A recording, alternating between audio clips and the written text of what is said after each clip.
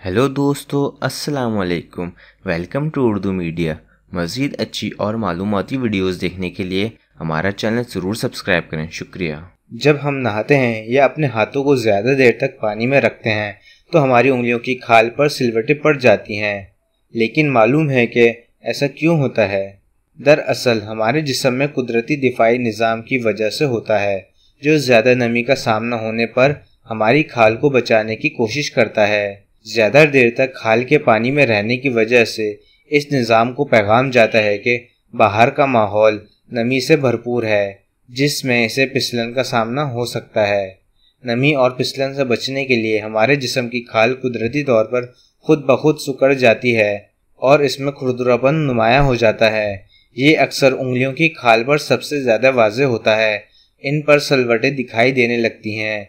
लेकिन साथ ही साथ चिकनी चीज़ों पर भी हमारी उंगलियों की गिरफ्त बेहतर हो जाती है। यानी दर हकीकत, पानी में रखने पर हमारी उंगलियों का सुकड़ना एक अच्छी बात है और हिफाजती तदबीर है। अगर ऐसा ना हो तो आप नहाते वक्त साबुन ठीक से नहीं पकड़ पाएँगे और शायद उस खाने में फिसल कर जख्मी भी हो सकते हैं। हमारी वीडियो देखने का शुक्रिया। हमारा चैनल सब्सक्राइब करना ना भूलें। अल्लाह हाफिज़।